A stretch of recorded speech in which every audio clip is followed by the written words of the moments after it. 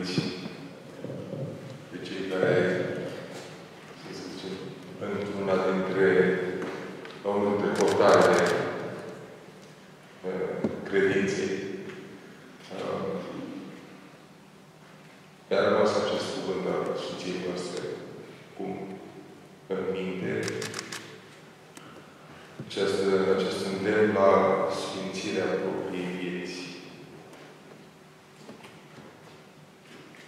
vieți. Sfințire de care cred că am trecut în vederea de vreme ce la Revoluție încoace era încă o întrebare aici, dacă era mai bine fără Revoluție sau cu Revoluție, dar am zis, am, doamna Constanța, știu pe dumneavoastră, uh, în cuvintele, am zis să răspund eu, în cuvintele Părintele Galeriu, și Revoluția a arătat o înviere în neamului românesc.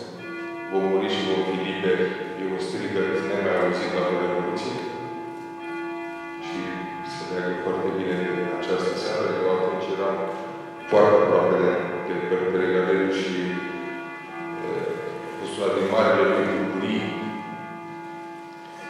felul în care tinerii au, au reacționat atunci.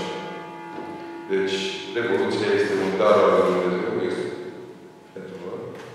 Noi n-am făcut ce trebuie pe ea. Pentru că noi nu ne-am sfințit pe noi. Și atunci am lăsat să intre peste noi toată această urgie a celui rău, în toate formele ei. Și nu cred că noi am tot discutat de acestea, nu cred că pentru noi este important exemplul Ungariei sau Poloniei sau... Mie mi se pare chiar că toată această luptă care există între această dispută uh, arată că poporul român e mai viu decât celelalte popoare în jur. Chiar și atunci când păcătuiește.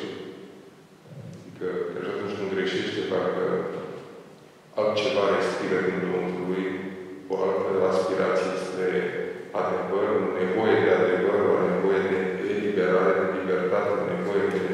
de dragoste, de bunătate, pe care nu o mai găsește nici la noi, slujitorii lui Dumnezeu.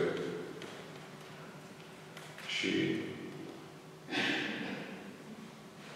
bineînțeles că vom merge la referendum, dar mergem cu o tristețe că n-am reușit să fim mai buni, că n-am reușit să valorificăm cuvintele care ne-a lăsat, de exemplu, Părintele Gabriel sau alții.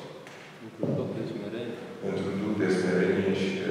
Adică nu sunt cumva să mergem triumfanist acolo și cu gândul că paradăm noi vouă, ci cu gândul n-am putut face altceva. Adică am ajuns să luăm statul de paravan pentru ceea ce trebuia să facem noi, ca să vă sfințim pe voi și să vă deschidem brațele noastre ca să îl cunoașteți pe Hristos. Vă mulțumesc foarte mult. A fost o seară care ne-a, ne-a uns inima cu bucurie și cu care ne-a speriat.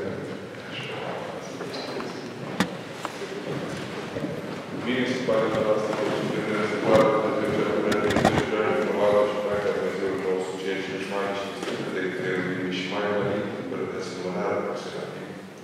Care este creștinul de Dumnezeu, cu Dumnezeu Născut, de cea pe Dumnezeu toată Dumnezeu, pe exală Tatăl și